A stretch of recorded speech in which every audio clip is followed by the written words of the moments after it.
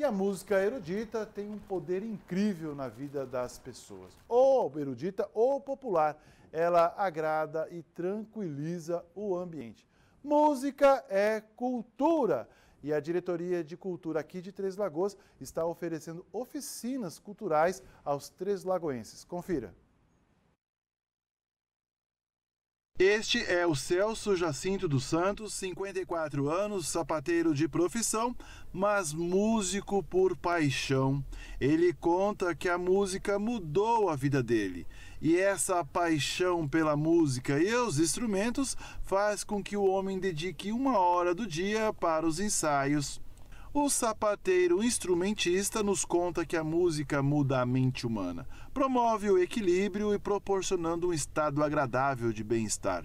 E o mais interessante, a música é uma linguagem universal. A música mudou muita coisa, porque a música abre portas. Primeiro, nós temos o conhecimento musical da leitura de partitura, que é uma língua universal.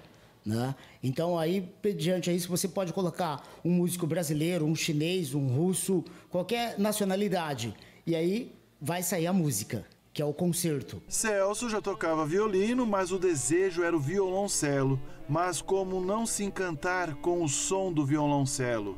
Um som grave característico deste instrumento.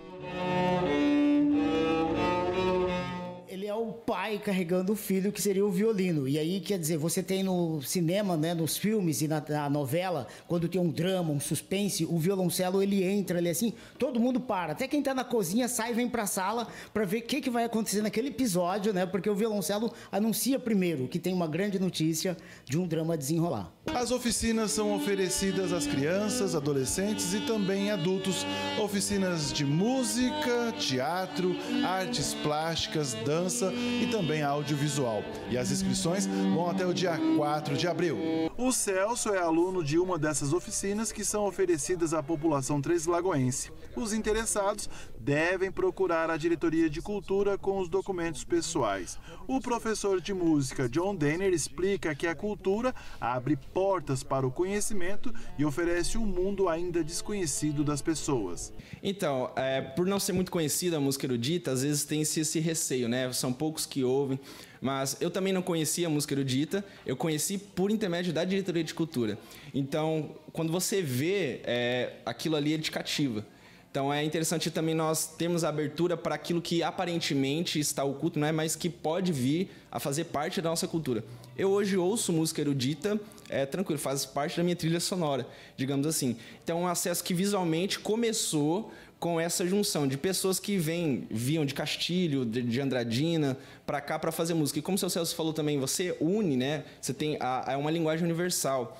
Então você rompe barreiras de preconceito, você rompe barreiras ali de, de classes sociais, porque ela tem esse poder de, de unir mesmo as pessoas.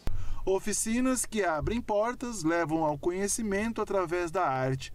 O Celso é um belo exemplo de que nunca é tarde para aprender. Com 54 anos, ele é aluno do professor de 24 anos. É a cultura musical transformando vidas, de um sapateiro em um violoncenista de qualidade. É necessário estarmos próximo do professor, porque tem aquele segredo, né? Tipo um segredo de profissão. Ele vai nos ensinar, vai nos orientar. Olha, a mão está mal posicionada, usa o arco para fazer um estacato, faz de tal modo, né?